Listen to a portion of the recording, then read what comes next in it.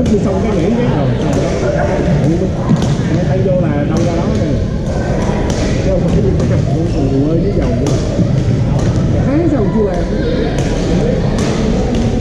Này giống như cái switch ờ. rồi.